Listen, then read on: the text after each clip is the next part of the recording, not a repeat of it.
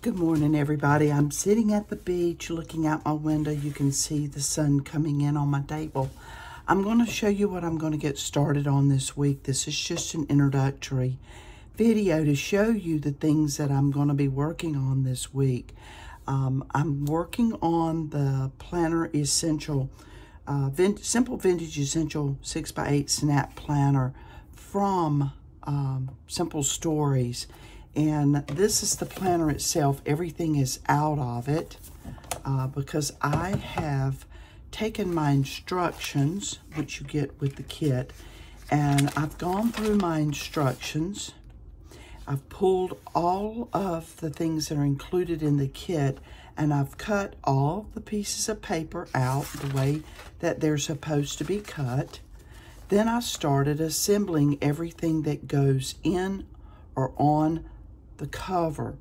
Uh, an inside cover, page one, page two, and so forth, all the way through to the very end where you go to the back cover.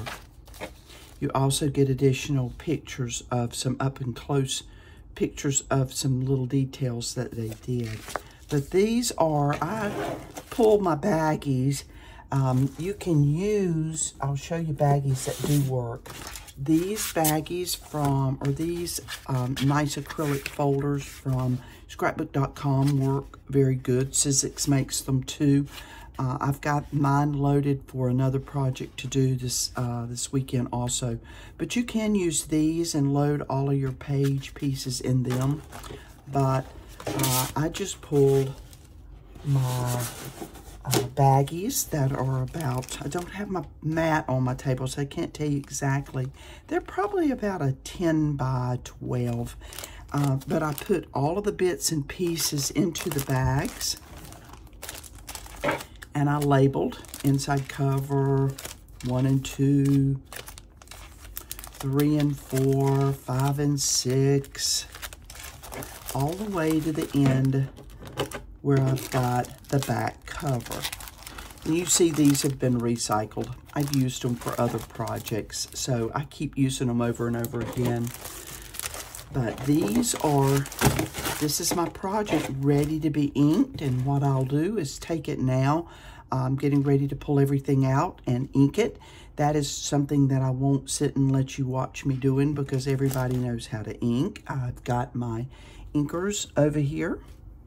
Uh, I used, of course, the Tim Holtz, and I used the Distress inks with these. And I've got the big, uh, I'm going to be using brushed corduroy. I've also got soot, and I've got uh, another color in here. I think it's called the Lost Shadow. I may be using it in some of the places also.